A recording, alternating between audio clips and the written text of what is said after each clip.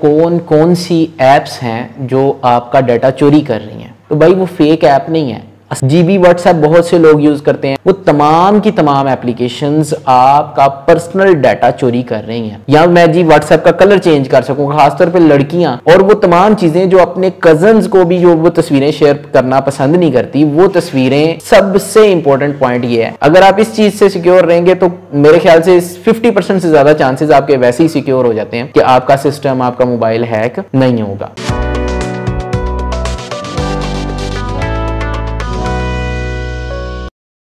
जी तो मैं अभी आपको बताने लगा हूँ कि वो कौन कौन सी ऐप्स हैं जो आपका डाटा चोरी कर रही हैं। क्योंकि बहुत सी एप्लीकेशन इस वक्त आप लोग यूज़ करते हैं एडिटिंग्स के लिए यूज़ करते हैं ऑनलाइन अर्निंग के हवाले से लोग देख देख के कोई फेसबुक पे लिंक शेयर किया होता है, उन्हें यूज़ कर रहे होते हैं। प्ले स्टोर से डिफरेंट ऐप्स डाउनलोड कर रहे होते हैं कि जी ऑनलाइन अर्निंग के लिए ऐप्स हैं। तो बहुत सी इकसाम की ऐप्स हैं एडिटिंग की है, आप एंटीवायरस एप्लीकेशन हैं एंड्रॉयड की ही विंडोज़ की और डिफरेंट जितनी भी आप यूज़ करते हैं। इन सब में जो आप ख़ास तौर पर सोशल मीडिया यूज़ करते हैं, इस सोशल मीडिया में एक स्पेसिफिक अटैक वेक्टर की यूज़ किया जाता है जिसमें ऐसी मलिशियस एप्लीकेशन ऐसी ख़तरनाक एप्लीकेशन वायरस वाली एप्लीकेशन एप्लीकेशंस बनाकर आपको इंस्टॉल करवा दी जाती हैं और आपको पता भी नहीं चलता कि वो एप्लीकेशन आपके मोबाइल में इंस्टॉल्ड है। अब होता क्या है कि आपको मिसाल के तौर पे फेसबुक के ऊपर एक किसी ने पोस्ट किया कि यार ये एप्लीकेशन जो है ना, इससे मैंने महीने का पाँच हज़ार रुपया, दस हज़ार कमाया है तो काइंडली आप इसको भी इंस्टॉल कर ले। आप क्या करते हैं, आप जाते हैं और उस ऐप को इंस्टॉल कर लेते हैं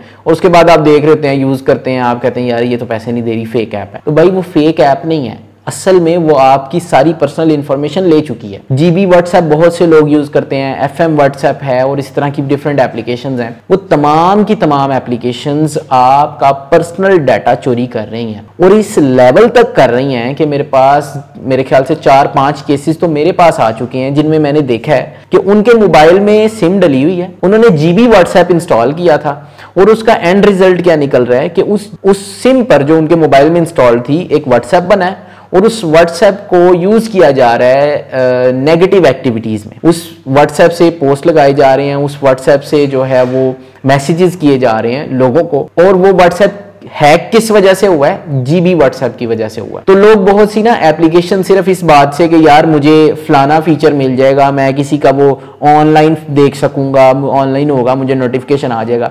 सिर्फ़ इतनी सी बात पे या मैं जी व्हाट्सएप का कलर चेंज कर सकूँगा खासतौर पर लड़कियाँ, जी पिंक कलर करना है रेड कलर करना है, वो कलर चेंज करने के चक्कर में अपनी तमाम पर्सनल तस्वीरें वीडियोज़ हर चीज़ चैट हर चीज़ वो अपनी ज़ाया कर बैठती हैं। और वो तमाम चीज़ें जो अपने कजन्स को भी जो वो तस्वीरें शेयर करना पसंद नहीं करती, वो तस्वीरें हैक होकर हैकर्स के हाथ में जाती हैं और उसमें मोस्टली मोस्टली इंडियन हैकर्स मौजूद होते हैं और रशियन हैकर्स मौजूद होते हैं। चाइनीज़ हैकर्स भी बहुत काम कर रहे हैं इस कैटेगरी में। अब वो क्या करते हैं कि उन तस्वीरों को, उन वीडियोज़ को एक तो एडिट करके फेक प्रोफाइल्स बनाई जाती हैं, जो कि फेसबुक के ऊपर चलती हैं और उनसे टेररिस्ट एक्टिविटीज़ और different kind of vulnerable Ela यानी कि मलिशियस एक्टिविटीज़ की जाती हैं। अब इस सब में आपको कैसे सिक्योर रहना है कि आपने कोई भी ऐप जब इंस्टॉल करनी है तो आपने इस बात का ख्याल रखना है कि वो एप्लीकेशन प्ले स्टोर से ही डाउनलोड हो। सबसे इंपॉर्टेंट पॉइंट ये है कि आपने जब भी एप्लीकेशन इंस्टॉल करनी है तो आपने ख्याल रखना है कि कोई भी बंदा आपको लिंक भेज रहा है खास तौर पर हमारे आर्मी के और हमारी सिक्योरिटी इदारों के जो पर्सनल हैं, उनके लिए ये इंतहाई किस्म की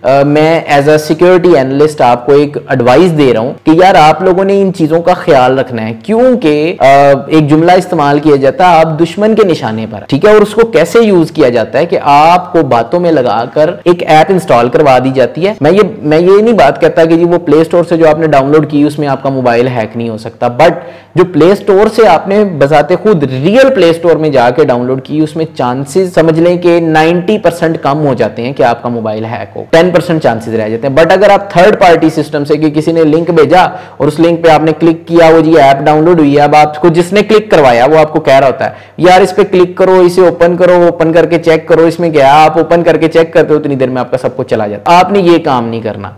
नंबर दो जो सबसे अहम चीज़ है वो ये है कि आपने कहीं पर भी कोई दोस्त हो, कोई आपका कज़न हो, कोई भी शख्स है, अगर आपको कह रहा है कि यार ये एप्लीकेशन है और इसको ना ये मैं आपको लिंक भेजता हूँ, इसमें ज़रा लॉग इन करो अपना फेसबुक तो ये काम भी आपने कभी नहीं करना। This this attack is called phishing link इसमें क्या होता है कि आप जब अपना यूज़र नेम और पासवर्ड उस जगह पे देते हैं ना जो आपके दोस्त ने लिंक भेजा था कि यार ये वीडियो चेक करो, उधर आपने लॉग मांग रहा था, आपने लॉग कर दिया। तो वो जो यूज़र नेम और पासवर्ड था ना वो फेसबुक के पास नहीं गया या लॉग नहीं हुआ, वो आपके उस दोस्त के पास चला गया या उस हैकर के पास चला गया जिसने वो लिंक बनाया था। तो आपको क्या करना है कि आपको ना तो कहीं पे अपनी थर्ड पार्टी कहीं से भी बात इधर खत्म होती है, कहीं से भी कोई लिंक आए, आपने कोशिश करनी है कि उस लिंक पे आपने क्लिक नहीं कर। अगर आप इस चीज़ से सिक्योर रहेंगे तो मेरे ख्याल से फिफ्टी परसेंट से ज़्यादा चांसेस आपके वैसे ही सिक्योर हो जाते हैं कि आपका सिस्टम आपका मोबाइल हैक नहीं होगा।